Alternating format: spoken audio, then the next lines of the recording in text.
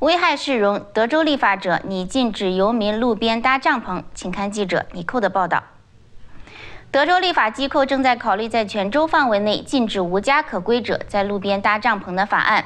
大约两年前，奥斯汀市曾经在地方范围内取消了类似的禁令，此举导致了整个奥斯汀市区帐篷数量的增加。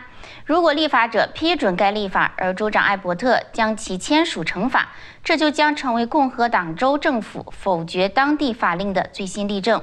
艾伯特也指出，如果特定城市不禁止这类搭帐篷的行为，将会扣留当地的州政府拨款。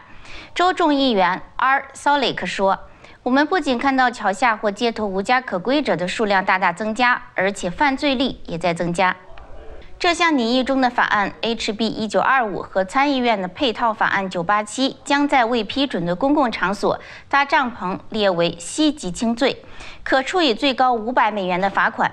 但民主党人批评这是将无家可归视为一种犯罪，他们也试图修改该草案以减少对无家可归的惩罚。